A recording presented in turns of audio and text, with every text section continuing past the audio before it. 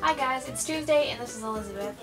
This weekend I went on a road trip with my family, my mom, my dad, and my two brothers. We spent three hours on the way there in a car and three hours on the way back. Where did we go, you ask? We went to a huge flea market, supposedly the biggest flea market in the world, called, and it's a place called Canton. On the way there we saw some like crazy awesome stuff, but that really wasn't the point of the trip. But it just made the road trip a little bit sweeter.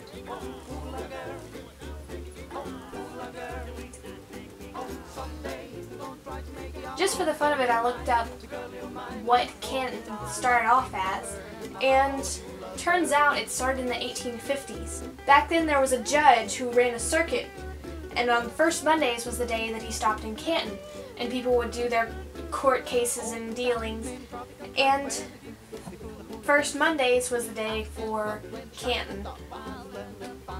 So people were meeting there anyway, so they decided, hey, why not meet relatives there, or trade, or whatever we need to do. And it just kind of became a thing. As time went by, laws were even put in place to stop people from trading in the streets, but everyone just kind of ignored them.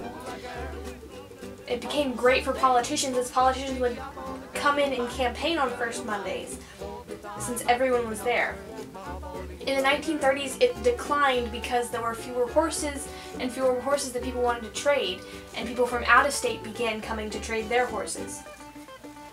In the 1940s, hog trade was a huge thing, so people were selling hogs and everything else that went with it.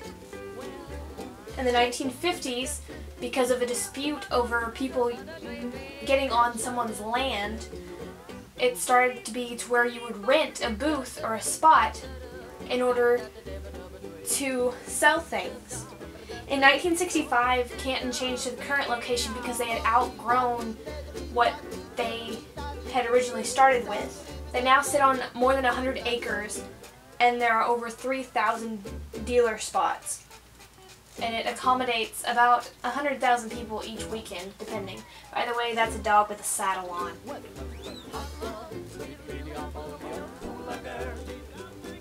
Canton involves a lot of walking and you see all kinds of things. New things and old things and things to wear and things to use and things to eat. Because of the fact that Canton brings in so much money for the city, a property tax was not imposed on the residents until 2006.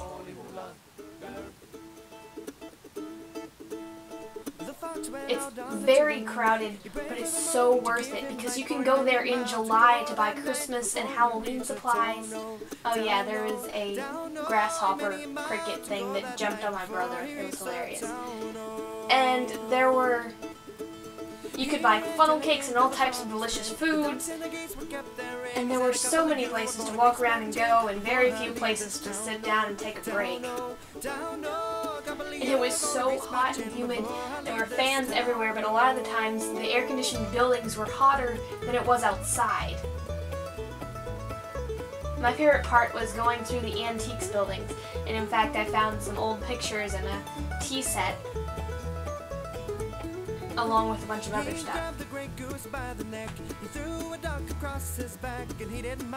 I think it's a fantastic tradition and I'm so glad that even though it's been there for so long, it hasn't faded into oblivion as so many old things do.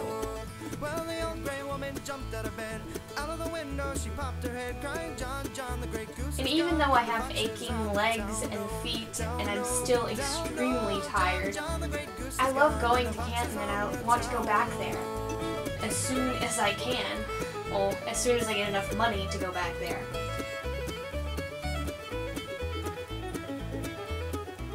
It's definitely a place that you should visit if you've never been there before or been to a huge flea market or if you're just looking for a particular thing that they might have. If you want to see more about Canton, I'm going to be posting another video on my main channel shortly. There'll be a link in the description. Hope you guys enjoyed this, and I'll see you next week.